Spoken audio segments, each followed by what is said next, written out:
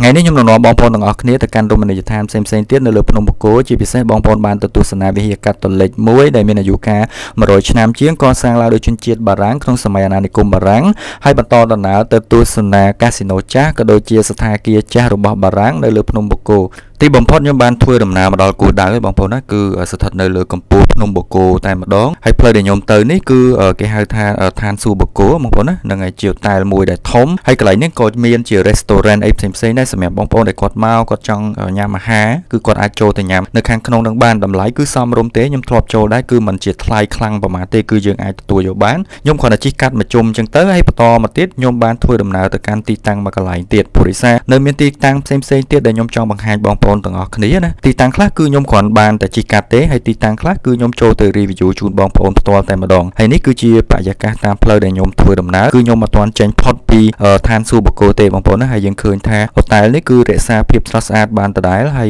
ជុំវិញហ្នឹងគឺយើងឃើញមានសួននិងឯការរៀបចំរបស់គេគឺស្អាតមែនទែនសម្រាប់អ្នកខ្លះគាត់អត់ដែលបានថតរូបគឺគាត់អាចចុះថតរូបនៅទីតាំងកន្លែងនេះបានហ្នឹងហើយហើយយើងជិះកាត់តិចមកយើងបានឃើញមានវិហារមួយគឺរចនាបថបែបចិនណាបងប្អូនហ្នឹងហើយសម្រាប់វិហារនេះគឺខ្ញុំអត់បានចុះទេហ្នឹងហើយខ្ញុំបន្តដំណើរទៅខាងមុខទៀតសម្រាប់ការធ្វើដំណើរនៅលើភ្នំបូកគោឥឡូវនេះគឺត្រជាក់ល្អមែនទែនព្រោះដោយសារមេឃគឺដូចបងប្អូនឃើញអញ្ចឹងគឺសតុំណាហើយមានខ្យល់ហើយក៏មានពពកល្មមมันជាខ្លាំងប្រហែលទេហ្នឹងហើយយើងអាចមើលផ្លូវមើលអីបានច្បាស់ដោយមិនចាំបាច់បើកភ្លើងហ្វាឡានអីផ្សេងផ្សេងយើងកលេចពីខាងនេះទៅបងប្អូនណាបងប្អូនឃើញមានពហិយមួយហើយខ្ញុំនឹងទៅទីតាំងកន្លែងហ្នឹងដើម្បី review ជូនបងប្អូនទាំងអស់គ្នាតាមដែលខ្ញុំដឹងត្រួសត្រាសពហិយនេះគឺគេហៅថាពហិយកាតូលិកណាគឺជាពហិយមួយដែលបានសេសសល់និយាយទៅតាំងពីជំនាន់បារាំងមកគឺកសាងឡើងនៅក្នុងឆ្នាំ1920អាយុកាលមកដល់ឥឡូវគឺយូរមែនតើបងប្អូនណាគឺ100ឆ្នាំជាងហើយក្នុងសម័យខ្មែរក្រហមរបបប៉ុលពតបងប្អូនណាពហិយនេះគឺត្រូវបានគេយកធ្វើជាទីតាំងបណ្ដោះអាសន្ននៃបន្ទាយហើយក៏ដូចជាផ្ទះបាយនិងការផ្ទុកស្បៀងអីផ្សេងផ្សេងយើងឃើញថាពហិយនេះជាក់ស្ដែងទៅគឺជាកន្លែងគោលដៅទេសចរមួយគឺស្អាតមែនទែនបងប្អូនមកដល់កុំភ្លេចចូលទាំងអស់គ្នាយើងបានមកមើលវិហារដ៏ចំណាស់មួយដែលក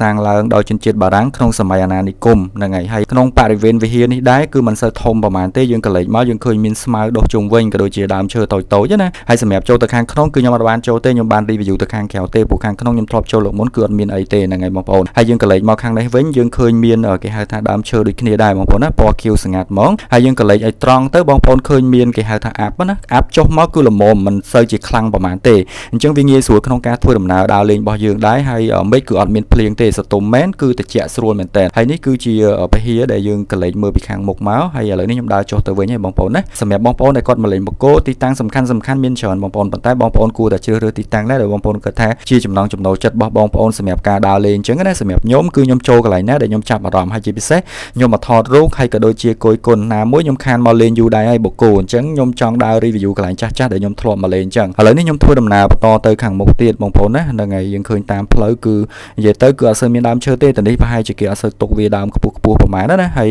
ជិះហួនបន្តិចមកគឺឃើញមានអាគារមួយនៅខាងស្ដាំដៃដែលគេហៅថាកាស៊ីណូចាស់ឬក៏តែលចាស់ណាហ្នឹងហើយហើយឥឡូវគេមានការរៀបចំគឺស្រស់ស្អាតមែនតើគឺគេកែច្នៃពីអាគារចាស់ចាស់ដើម្បី renovation វាឲ្យមានភាពថ្មីស្អាតហើយសំខាន់គឺយើងអាចមកលេងជុំវិញហ្នឹងក៏ដូចជាចូលទៅទស្សនាបានខ្ញុំមិនដឹងថានៅខាងក្នុងគេបើកឲ្យចូលអត់ទេប៉ុន្តែសម្រាប់បរិវេណខាងក្រៅហ្នឹងហើយយើងក៏លេចមកគឺឃើញមានសួនស្មៅហ្នឹងហើយហើយមានកន្លែងចតឡានអីផ្សេងផ្សេងអញ្ចឹងសម្រាប់បងប្អូនមកបងប្អូនអាចចូលទៅសាកសួរគេទៅសម្រាប់ខ្ញុំខ្ញុំបានតែជិះកាត់ទេព្រោះទីតាំងកន្លែងនេះខ្ញុំធ្លាប់មកលើកមុនគឺយើងអាចចូលទៅខាងក្នុងបានហ្នឹងហើយប៉ុន្តែឥឡូវនេះគឺខ្ញុំអត់ច្បាស់ដែរហើយឥឡូវនេះខ្ញុំបន្តដំណើរទៅខាងមុខទៀតបងប្អូនណាព្រោះដោយសារយើងទៅឲ្យផុតឲ្យអស់ផ្លូវតែម្ដងទៅតឥឡូវទៅមើលនៅខាងមុខបន្តមួយខ្ញុំបាទចង់ដឹងថាខាងមុខមានអីគេហ្នឹងហើយយើងជិះបន្តិចមកបងប្អូនឃើញមានអាគារមួយនេះគឺជាអាគារមួយដែលគេបោះបង់ចោលណាគឺចាស់មែនតើហើយអត់មានការរៀបចំអីទាំងអស់អាគារនេះគឺជាអាគារដែលសល់ពីសម័យអាណានិគមបារាំងដូចគ្នាដែរហើយតាមដែលដឹងគឺជាអូតែលចាស់របស់បារាំងហើយយើងទៅខាងមុខទៀតគឺដល់ដំណាក់ព្រះបាទមនីវង្សប៉ុន្តែខ្ញុំអត់បានចូល review ជូនបងប្អូនទេដោយសារខ្ញុំអត់មានពេលហើយខ្ញុំក៏សម្រេចចិត្តត្រឡប់ទៅវិញទៅ